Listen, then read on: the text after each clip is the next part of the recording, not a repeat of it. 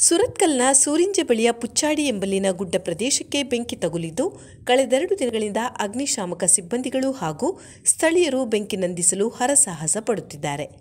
ಹಲವು ಎಕರೆಗಳಷ್ಟು ವಿಸ್ತೀರ್ಣದ ಗುಡ್ಡಕ್ಕೆ ಬೆಂಕಿ ತಗುಲಿದ್ದು, ಆಕಸ್ಮಿಕವೋ ಅಥವಾ ಕಿಡಿಗೇಡಿಗಳ ಕೃತ್ಯವೋ ಎಂದು ತಿಳಿದು ಬಂದಿಲ್ಲ. ಹುಲ್ಲು, ತರಗೆಲೆ ಒಣಗಿರುವ ಪರಿಣಾಮ ಬೆಂಕಿ ನಿಯಂತ್ರಣಕ್ಕೆ ಬರುತ್ತಿಲ್ಲ. ಭಾರೀ ಬೆಂಕಿ ಹೊಗೆ ವ್ಯಾಪಿಸಿದ್ದು, ಸ್ಥಳೀಯರು ಆತಂಕಕ್ಕೊಳಗಾಗಿದ್ದಾರೆ.